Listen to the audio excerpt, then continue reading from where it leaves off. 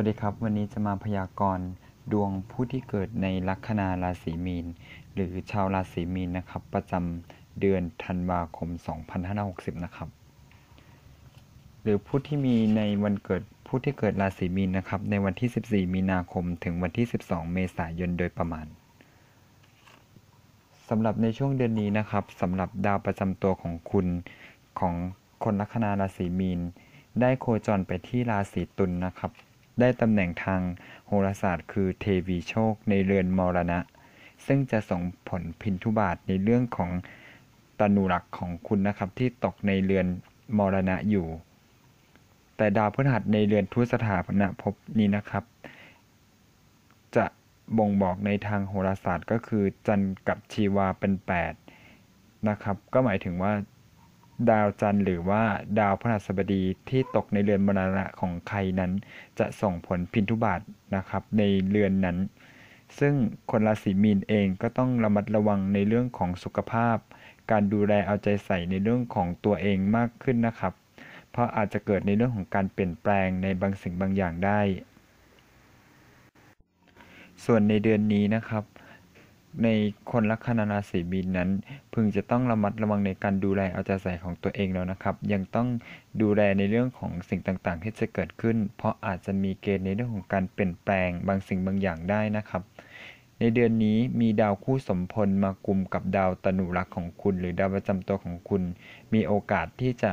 ส่งผลให้กำลังแก่กันและกัน ซึ่งจะผลักดันให้กับชีวิตของคุณนั้น มีเกณฑ์ในเรื่องของการก้าวข้ามผ่านอุปสรรค ปัญหาต่างๆ ได้ และมีสติมีชาวปัญญาในเรื่องของการแก้ไขสถานการณ์ต่างๆ ที่จะเข้ามาได้ และอาจจะมีสติปัญญาในการเอาตัวรอดได้นะครับ มี power มากขึ้น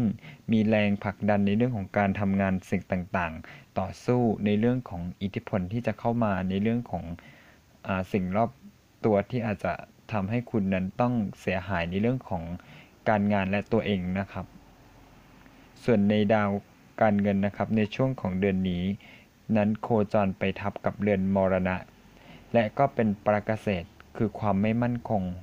ในเรื่องของการเงินสักเท่าไหร่ในช่วงของเดือนนี้ ผลของการที่ดาวการเงินของคุณนะครับที่ติดขัด หรือว่าสะดุดมาสักพักหนึ่งแล้วก็ยังจะส่งผลต่ออยู่สักระยะหนึ่ง ส่วนในเรื่องของการหมุนเวียนในทิศทางของการเงินนั้นยัง เป็นทิศทางลบนะครับ ยังมีรายจ่ายมากขึ้น และอาจจะเป็นในลักษณะของการหมุนเงินที่ไม่ค่อยดีสักเท่าไหร่ แต่ได้รับกระแสสัมพันธ์จากคู่สมพลนั้น อาจจะมีเกณฑ์ในเรื่องของผู้หลักผู้ใหญ่นั้นให้การช่วยเหลือ หรือว่ามีเกณฑ์ในเรื่องของการช่วยเหลืออุปถัมภ์จากคนรอบข้างได้นะครับ อาจจะมีการช่วยเหลือคุณนั้น ในลักษณะที่ว่าให้การยืมเงินหรือว่าอาจจะช่วยการในเรื่องของการ เอื้ออำนวยสิ่งต่างๆ กับตัวคุณนะครับ คุณเองนะครับก็อาจจะมีเกณฑ์ในเรื่องของการวางแผน สิ่งต่างๆ นั้นต้องรัดกุมแล้วก็รอบคอบในเรื่องของการใช้เงิน ต้องรับมือกับการใช้เงินในช่วงของเดือนนี้ จะทำอะไรก็ต้องคิดหน้าคิดหลังให้ดีนะครับสำหรับการเงินในช่วงเดือนนี้ เพราะว่าอาจจะทำให้คุณนั้นต้องสะดุดแล้วก็ติดขัดทำให้คุณเป็นหนี้เป็นสินได้นะครับ ส่วนในเรื่องของดาวเสาร์นั้นมีเกณฑ์ในเรื่องของการยกย้ายราศีจากราศีพิจิกเข้าสู่ราศีธนูทับในเรือนของการงานของตัวคุณเอง จะส่งผลในเรื่องของการงานของคุณนั้นต้องยุ่งนะครับมากขึ้น หรืออาจจะต้องเหน็ดเหนื่อยต้องแบกภาระอดทน ในเรื่องของการงานมากขึ้น ดาวเสาร์นั้นนะครับส่งเกณฑ์ถึงแรงถึงลัคนาได้โดยตรงทำให้ลัคนาของ คนราศีมีนนั้นต้องมีใจที่เข้มแข็ง แล้วก็อดทนอดกลั้นต่อการกระทำมาก ๆนะครับ ในช่วงระยะเวลา2ในช่วงของ 2 ปีครึ่งนี้ คุณจะได้รับภาวะต่างๆ แล้วก็หน้าที่ต่างๆของตนเองนะครับ ที่จะต้องทำนั้นอย่างตั้งอกตั้งใจนะครับเพราะทุกอย่างนั้นมันเป็นไปตามวิถีการโคจรของดวงดาว ซึ่งเราไม่สามารถไปขัดหรือปฏิเสธ ในเรื่องของการรับของดาวเสาร์นั้นได้นะครับ เพราะดาวเสาร์นั้นยังโคจรรอบดวงอาทิตย์และรอบโลกและรอบตัวเรานะครับ ดังนั้นเราสามารถที่จะวางแผนแล้วก็รับมือกับสถานการณ์ต่างๆ ที่จะเข้ามาให้ได้ดีที่สุดนะครับสำหรับชาวราศีมีน ส่วนในเรื่องสังคมเพื่อนฝูงและก็คู่ครองของคุณนะครับ การโคจรอยู่ในภพที่ดีงามนะครับ ความสำเร็จ การงอกงาม